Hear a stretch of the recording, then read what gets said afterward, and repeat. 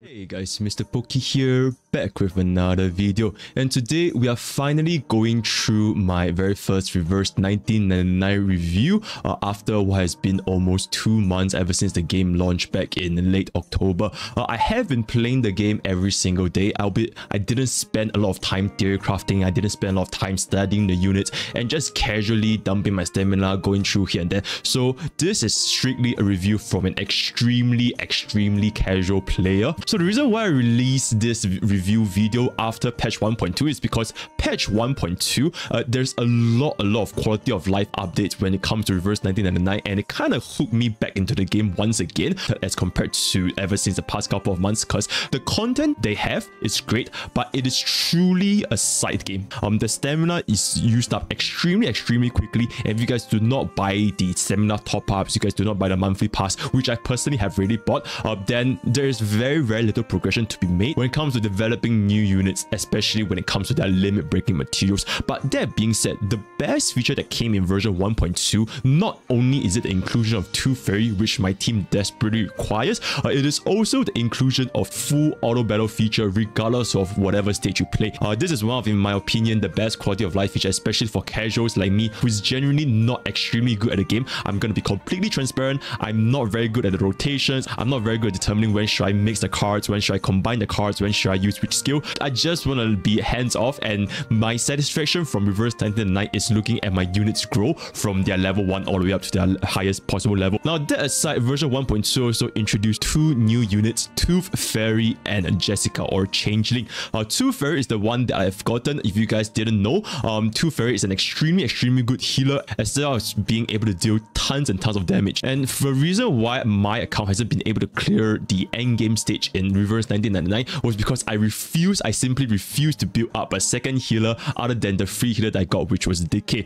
Right, I didn't manage to get Balloon Party, I didn't manage to get Medicine Pocket, and the only other healer my account had was La Source, and I just refused to build her. So I'm like, you know what? I'm just gonna wait for a healer that comes along. Not feel like I've wasted resources investing in like a 3-star healer like La Source and therefore I built Tooth Fairy. Maybe my methodology is wrong. Maybe I should have just invested in La Source because maybe it shows an easier race. But I digress and what's done has really been done. But what I can say is Tooth Fairy so far, she has been excellent in my account. Uh, ever since the inclusion of Tooth Fairy, I have now been able to finally clear the first part. I'm not even talking about the Memory of Chaos stage. I'm not even talking about Limbo. I'm talking about the Forgotten Hall stage, right? The Ordinance stage, I believe and I finally managed to clear it because Back then, I only had a single healer and my units were just not strong enough to take on both sides uh, with both sides not running a sustain. Perhaps I could have tried grinding out, right, raising my Lilya to I3 and above, but the only I3 I had was Centurion, so I just didn't want to go through the trouble of investing that much time and resources, min-maxing and just pushing through the limbo stage. I just want to very, very comfortably clear this game that's reverse 1999 and Tooth Fairy perfectly encapsulates what I want to achieve in my account. So once I got her, I'm quickly progressing through the end game. Right now, I just finished Limbo 1. I'm still going to be clearing Limbo 2, 3, 4, 5, 6. Hope that with the inclusion of Tooth Fairy, I can now clear to Limbo 6 as soon as possible.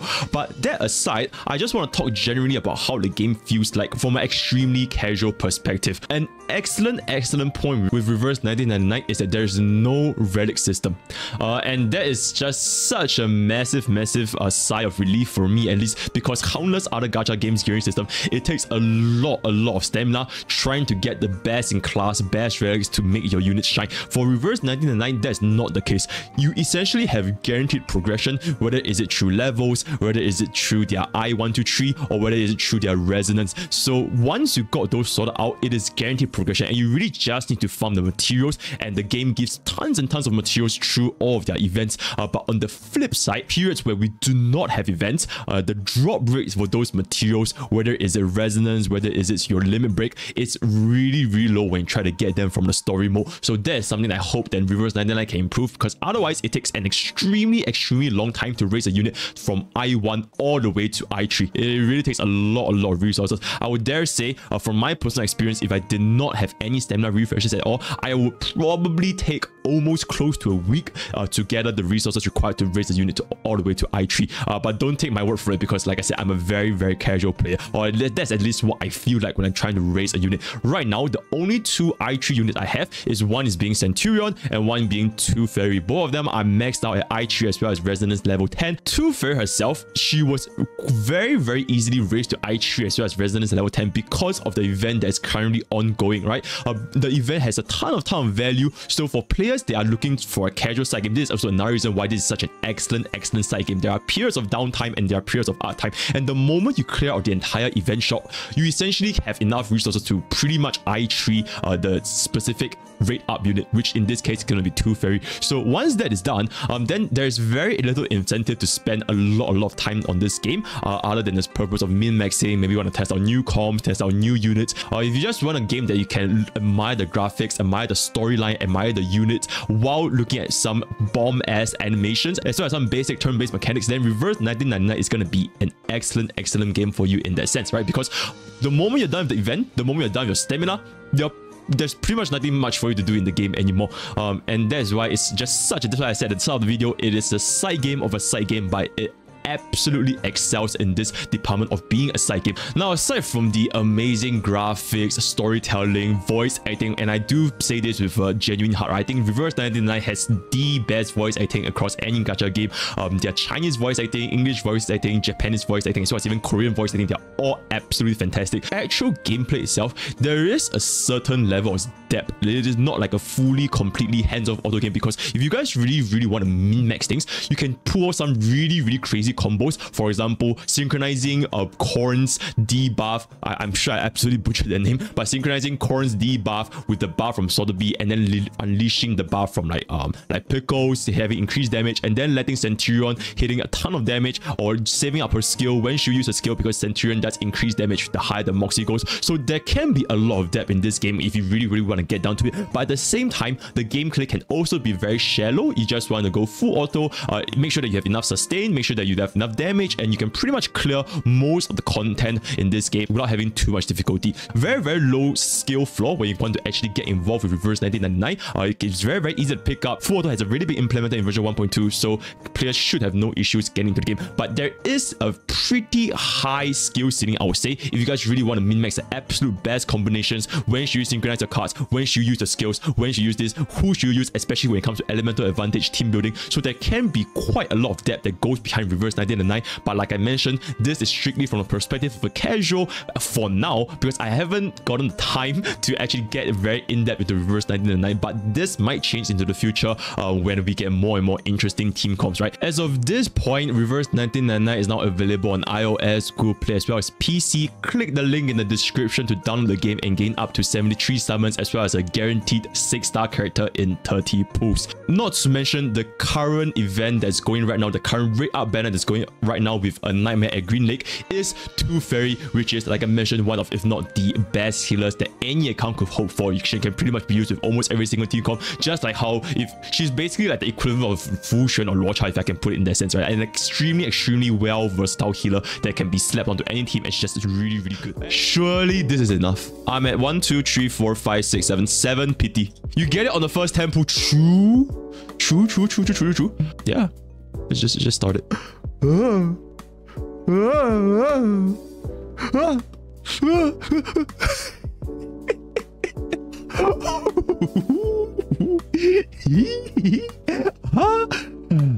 ah, all right. I see. I see. I see. I see. Holy shit. I do not mind this at all. Is she good? Is she good? Yo, please tell me she's good, man. Yo, please tell me she's good. Good to look at. oh my god, bruh. Ooh, ooh, ooh, ooh, ooh, ooh. Okay, wait, wait, chat, chat, wait, chat. Is this the SSR summon? Is it? Oh, sorry, sorry, okay. Is this a six star animation or is this a five star animation? Is there even a difference? Orange is six star. Wait, this is not orange. Am I blind? Is this not orange? Does it not look orange? Yo! Three five stars. Yo, I take that any day, man. Um, yeah, let's see what we get. Let's see what we get. Yo, is she good. Yo, she looks pretty good. She, yo, she good? She, she good? Decent? She, she's alright. Tennant? Tennant? Tennant? Tennant. Yo, is her dupes good? Yo, maybe maybe she's better with dupes, right? But donkers? Can I get one more but donkers though? Yo, what's this? Who the f is this? Yo, is she good? Yo, is she good? Small girl? Alright, it is what it is then. I mean, it's still 3 5 stars, so I'm not gonna complain though. Oh my god, what is this god? What is this pool, man? Okay, is this a 5 star? Uh, sorry, is this a 6 star? How can I... I, I genuinely can't tell. Oh, I genuinely can't tell, guys. Just we get. Get my eyes checked. Um, is, is he good? Give me like a, give me like a tier. Give me like a tier. Give me like a tier. Never use him. Bet. F. Wait, so he's, he's yanking. okay, no. Oh man, oh man, oh man, oh man, oh man, oh man, oh man, oh man. Alright, alright, alright. Check. Peep this, guys.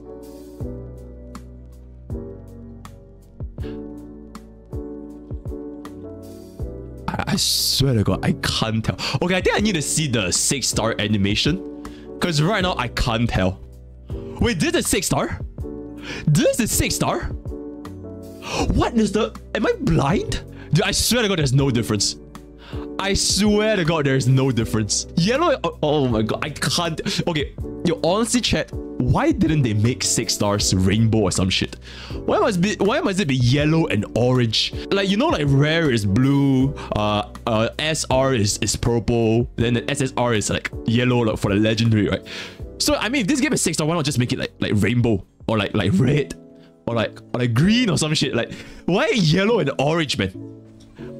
Oh, okay. From from that boom.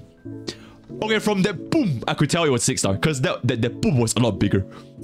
The boom was a lot bigger, guys. Um, but I, I, gen I genuinely can't. Okay, let me see. Oh, here we go. Do you get corn? Corn? Corn? Oh my god, it's not corn.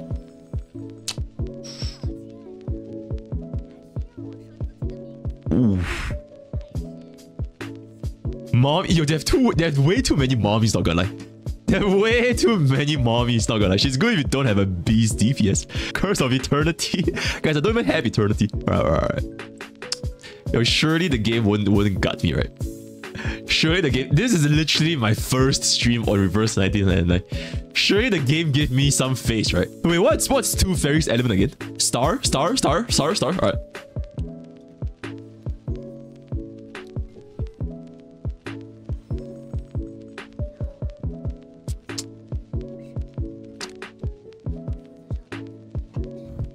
Winners win, guys. Winners win.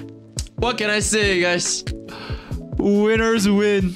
You know, it, it's really that easy. Well, what can I say, you know? It's really just that easy. All right, how was it? Was a 50 pools. And with that, we have come to the end of this Reverse 1999 review after two months. Personally, for me, I really, really enjoyed this as a side game, right? Once I'm done with my Star Rail content, once I'm done finishing up my edits, finishing up my daytime job, then just spend less than five minutes and I'm pretty much done with the stamina in Reverse 1999. Then I just look at my characters, feel good about it, and then log off. So I really think that from a side game perspective, this is one of, if not the best in the gacha market right now, right? So if you guys have any discussions, we do have a very active Reverse 1999 sub in Pokke's Village right now. It has been established ever since Reverse 1999 launched. So if you guys want any further discussions, any team help, any uh, meta analysis, uh, we have a ton of villagers that's very, very active in this community. So do check out Pokke's Village. If you guys want to check out my stream, that's going to be at twitch.tv slash Mr. Pokke, where I stream two to three times a week and the schedule will be updated on Discord as well. Right, that's all I have for today's content. All the best for your Tooth Fairy pools, and I'll see you guys next time. Take care.